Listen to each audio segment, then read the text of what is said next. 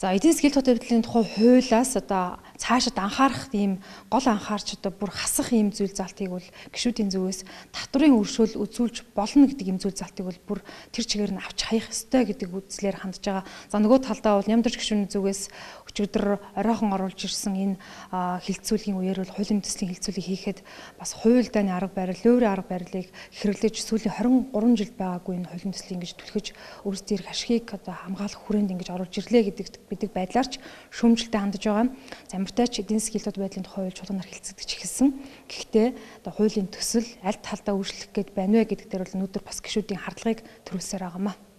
Эдийн засгийн тод байдлын хуулийн төслийг дэмжлэг хүлээлгүй буцаагдаад байхад эрх мэдлийнхээ хүрээнд улсын хурлын дарга зүтгүүсээр байгаад босгоод ирлээ гэдэг бухимдлыг нямдарч гişүү илэрхийллээ. Ер нь эдийн засгийн өршөөлийн тухай хуулиас эдийн засгийн тод байдлын тухай хууль ялгаатай гэдгийг онцолж байгаа юм. Гэтэл ижил утгатай мэтэр олон нийтэд ойлгуулан түүнийхээ ард өөрсөдөө ашигтай хөлбөрийг эдийн засгийн тод байдлын тухай хуулиар нээх гэж байна гэж үзлээ.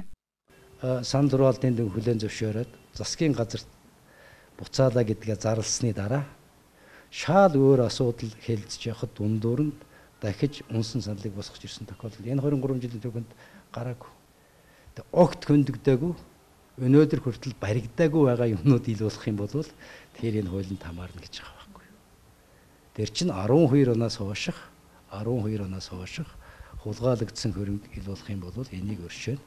Тэгээд гэм зэмгүй явуулнаа гэсэн өөрсдөө зориулж байгаа хууль хүмсүү татвараа төлөе гэж өрсөлдөхөөсөө илүү дараагийн өршөөлийг хүлээх нөхцөл байдал уур амьсгал бий болно.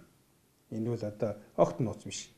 Тийм учраас татвараа шударгаар төлсөн тэр аж ахуйн нэгжүүдийг хохироохгүй байх. Хуулийн дагуу хүлээсэн үүргээ биелүүлээгүй хүмсүүдэд бол одоо зөх хариуцлагыг хүлээх ёстой шүү дээ. Татварын нэг удаагийн өршөөл үзүүлнэ гэдэг үг орохгүйгээр энэ хууль гарах ёстой гэж би хувьдаа бодож байгаа юм. Анх нь бол ийм л концепцээр боловсрогдсон хууль. Гэтэл ийм үг орсны цаана ямар одоо далд сонирхол байгаа юм гэдэг ч юм бол улсууд таавамлах одоо эрх нь үлдчихэж штэ нэлттэй. Та үнэхээр л бусдаас шалгарч мөнгөтэй харуулах гад үнтэй юм хэрэглэх гэдэг агуул тэндээ бас үнтэй татвар төл.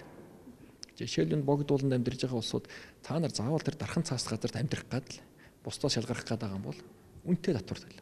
Тентгийн газар нь үнтэй байх шүү дээ. Үл хөлөх хөрөнгөнөөс татвар авч байгаа шүү дээ. Тийм биз?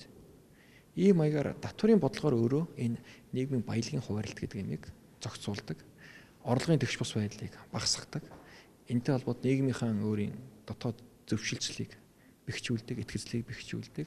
Нийгэмд бий болоод байгаа тэр хуримтлагдсан асуудлыг шийдвэрлэхэд ерөөсөө татвар санхүүгийн хөшүүргээр шийддэг. Ер нь эдийн засгийн тод байдлын тухай хуулийг төсвийн орлого тасарсантай холбож байгаа. Үүнтэй холбогдуулан хідэн тоо баримтыг дөрөвдөхөд банкны чанаргүй зээлийн хэмжээ 740 гаруй тэрбум төгрөгт хүрчихсэн. Татврын орлого эхний удирдлын байдлаар 250 орчим тэрбум төгрөгөөр тасарсан. Энэ нь оны эцэс 400-аас 500 тэрбум төгрөгийн тасалдал үүсэх болгоомжлыг сануулж байгаамаа. Тиймээс энэ байдал энэ чигээрээ байвал эх 10 дугаар сард төсөвт тодтгол хийхээс өөр аргагүй хүрэн гэдгийг ч хэлж байгаа. Тиймээс эдийн засгийн нөхцөл хүнд байхад өртөө гэдгээр аж ахуйн нэгжүүдэд адлаад суудаг биш төр дэмжлэг үзүүлдэг баймаар саналыг төвшүүллээ. Үүний нэг тод жишээ нь таван толгой. Харин ийм байдлаараа бол хаврын чулнаар таван толгой асуудлыг хилдэж чадахгүй гэж зарим гишүүд үзэж байна хилэлцэж эхлээгүй юмд ажлын хэсэг оруулж ирдэг тийм дэг гэж бол би одоо мэдэхгүй юм. Ерөөсөө цаад санаа нь бол энэ таван толгоо явуулахгүй л гэсэн одоо ийм санаа байгаа учраас үндсэндээ хаврын чуулганд амжихгүй болоо да гэсэн санааг би хэлсэн. Тэгэхээр энэ жилийн хувьд бол энэ орлогын бүрдүүлэлтийн хүндрэл урд жилүүтэй харьцуулахад нэлээд урт хугацаанд үргэлжлэх нөхцөл байдал бий болчлоо. Тийм учраас миний яриад байгаа төсвийн татгалыг бол аль болохоор түргэн хийж. Зарим одоо зардлыг бол одоо орлоготой нь уялдуул зохицуулахаас арга байхгүй. Бид одоо зарлага задгаа төлөвсөн хэмжээгээр гаргаад яваад байвал оны сүүлийн хагас жилд бол орлого нилээд дутагдах байдалд хүрч болзошгүй.